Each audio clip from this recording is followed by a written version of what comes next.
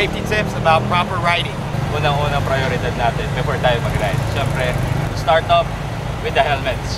We have different types of helmets. Uh, we have the open face, half face, we have the full face, we have the modular, and it should be Number one, definitely, it should be DOT approved uh, to make sure that it's a legitimate helmet, not just a plastic one. If you don't have an open face, it's good to have sunglasses or some kind of protective shield like this.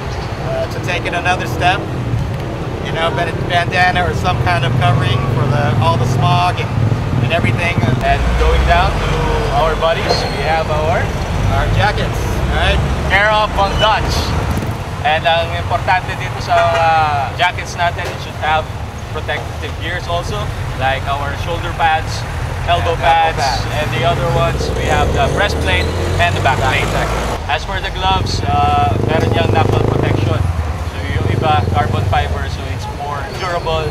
matigas, mas protektado tayo. As for the leather pads naman, we have some uh, one customized, meron mga knee pads, Underneath the jeans, definitely boots would be a prefer- preference. A steel toe preferably if you have them. So if not, at least a high boot to protect your legs and your feet uh, from the bike or any debris that you might come across on the road. Always think about safety pag nagra-ride tayo.